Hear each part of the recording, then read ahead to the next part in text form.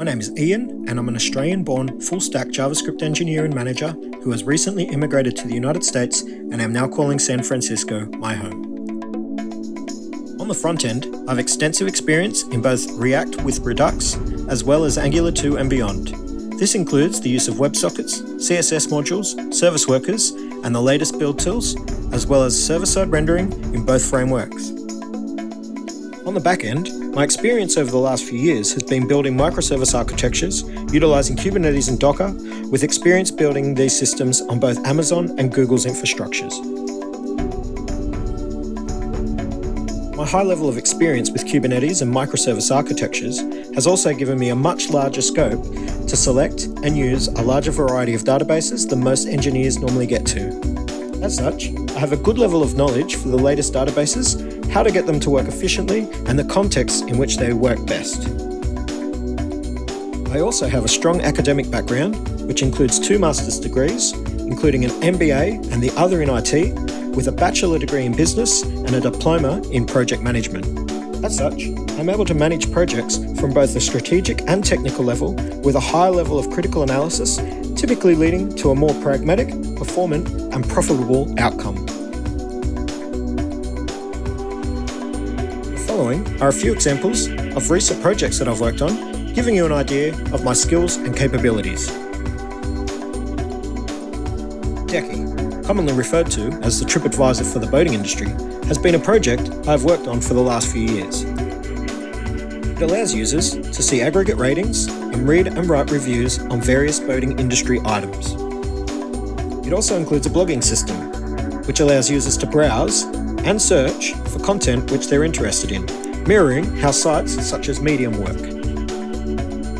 Like Medium, the entire site is also passwordless. As you can see here, I only need to enter my email, click the link, and I'm now authenticated. Returning to the previous tab, I can now interact as a normal user. It's worth mentioning that I originally built the entire site in Angular 2 during Angular 2's beta, but I made the strategic choice to switch to React and Redux due to it being a more stable and strategic choice. This transition proved my abilities as far as component composition, as the rebuild in React took only a little over a week to complete and launch. The site is also very fast due to server-side rendering and good caching practice, as you can see here, but I encourage you to visit it online and see for yourself. The back end of the site comprises of about 30 individual services running on top of Kubernetes on Google's infrastructure. Kubernetes allows for scaling very easily, allowing us to ramp up available services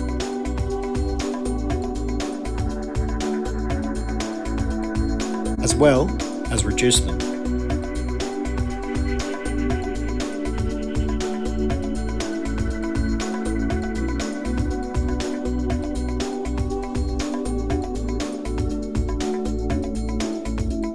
The speed of the site is attributed mostly to the extremely powerful caching layer that we call the Discovery Service. All front-end data is aggregated and held in Elasticsearch, which is not only very fast, but also has the benefit of being able to be explored and analysed with Kibana. We can also build out dashboards, as you can see me doing here. All services communicate via standard HTTP requests but also via AMQP through RabbitMQ. This allows the system to handle higher loads by deferring the processing of non-time critical events until it is able to do so. Another project I have exclusively developed recently is Engage Communicator, which I was appointed to build for PricewaterhouseCoopers.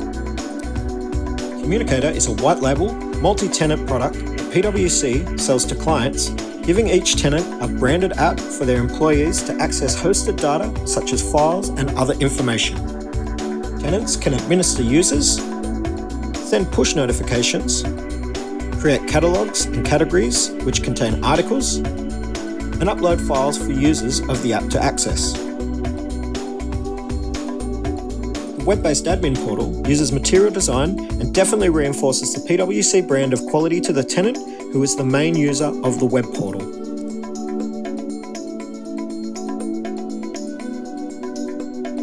The app, which is a hybrid built in Cordova, is customizable by the tenant, allowing them to reinforce their own brand to their employees and users, and is available on both Android and Apple. After logging in, a user can browse catalogs, its categories, and the articles that belong to that category. Unfortunately, these are only placeholder images and data, and I can't show you a real app for privacy reasons, but when images are selected matching a tenant's branding, the app looks like an extension of the tenant's product. Another powerful feature of Communicator is its two-way notification system. Users can be required to acknowledge notifications, which notifies admins. This feature can be extremely powerful in crisis and emergency situations at work.